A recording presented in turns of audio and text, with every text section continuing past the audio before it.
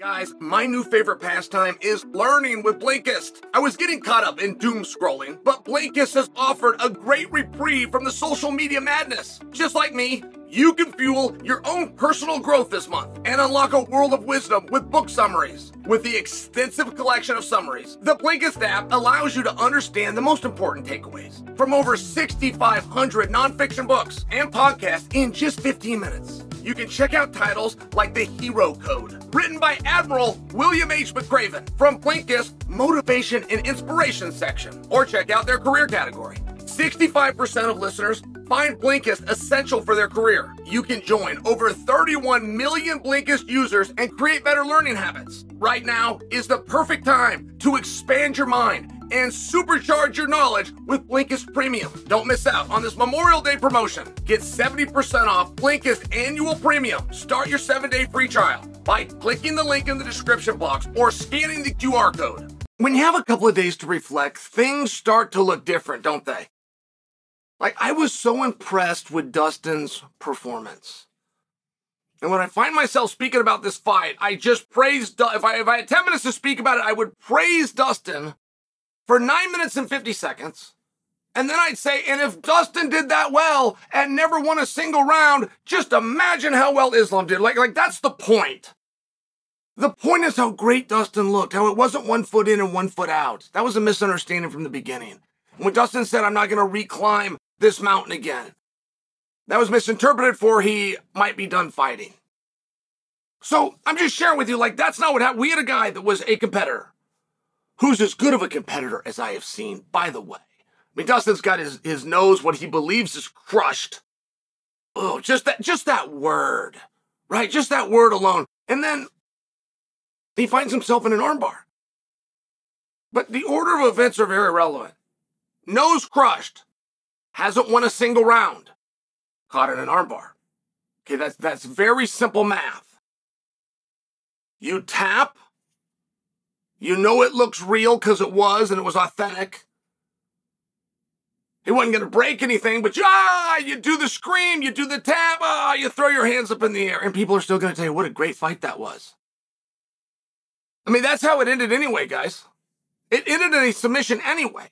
So if you're in Dustin's shoes and you're losing rounds and it's going from bad to worse and your nose is crushed, and that's before we find out whatever was going on with his knee. We heard that with the shin and the kneecap, and I get squeamish with some of those injuries. But I'll tell you this. So you're going to do the same thing, which appeared inevitable, inevitable, going to have the exact same result, but you can do it 12 minutes earlier. Imagine the pain and suffering that you could protect yourself from enduring, right? I mean, this is pretty simple math. This isn't like a quitter. That's a tough guy. The guy I just described, had he tapped to the armbar after having a crushed nose and out there fighting, is a very tough guy.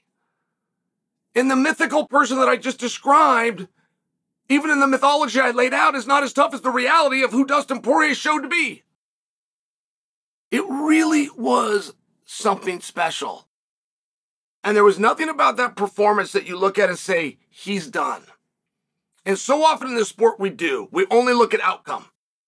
All right, he's lost two of his last three. All right, he was stopped in two of his last three. All right, he just lost to Islam. I mean, it's, it's one of those spots where you go, yeah, but make sure that you have a talent and a skill and you can separate performance from outcome. And there's nothing within that performance where he had slowed down, didn't have the heart, didn't have the grit, didn't have the power, didn't have the IQ, didn't have the uh, desire, didn't have the conditioning. No, man, he checked every single one of those boxes. He gets an A in every category. Islam got an A plus. So it's it's very unique to look at because it didn't take any time for Volkanovski to use Poirier's name coming out of his mouth. Now, Volkanovski just doesn't call guys out. And Volkanovski was very polite about Dustin, but it, it speaks to many things, including a transition from Volkanovski up to 155 pounds. And see, that's one of the things I think might be a problem.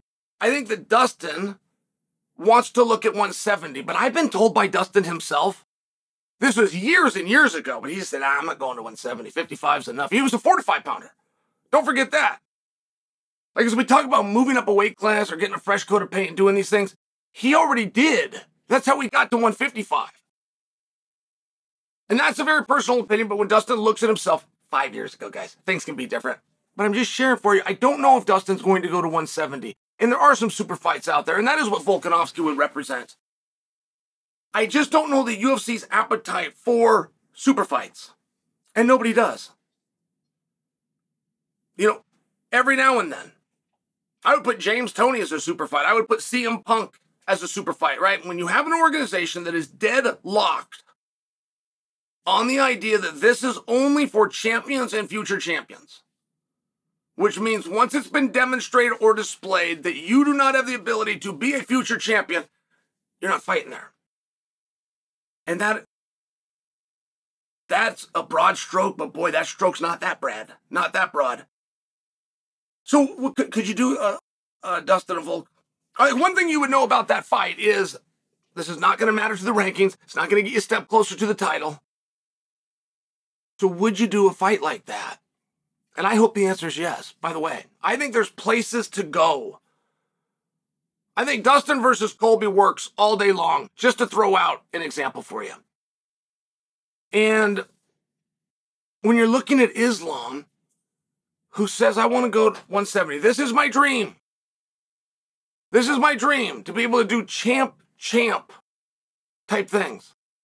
We can't dismiss that idea as quickly as we generally can. When somebody starts calling for a different division, first off, we kind of get bored and go, hey, handle your business here to start with. But secondly, it just doesn't happen very often. You're wasting your time on a call out, but we can't say that to Islam.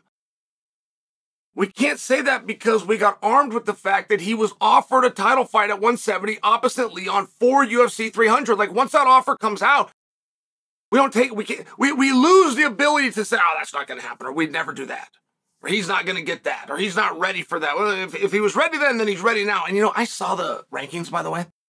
They put it up on a full screen, and of, of the guys that are ranked, golly, there was only like two guys that Islam hasn't already fought. And Islam also said, man, I would like a little bit of parity. So if I'm just looking at that, I don't believe that Islam is going to say no. Like if he gets a call and it's Tsarukyan, just for example, I don't believe that he's going to say no.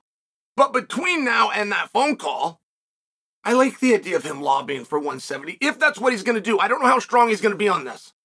I don't know if he's going to do follow ups and be big and strong. I just know in Islam's shoes, to do rematches is not the top of your list particularly if your dream is to go to 170, because what you're demonstrating before I can go to 170 is that I've cleaned out 155. Well, if I'm doing rematches with guys, Tsarukyan a second a time, they booked Charles a second time, did Volkanovski a second time, then that's evidence that you cleaned out a division. And I would be open to hearing his ideas or the potential ideas or who, who he's got in mind up at those other weight classes. I think it's fun. I think it's a fun topic. I think of everything that we saw over the weekend. Boy, did Dustin look tough. Boy, did Dustin look good. And I would remind you with the few seconds I had left, Dustin lost the fight by finish to a better fighter. And that's Islam.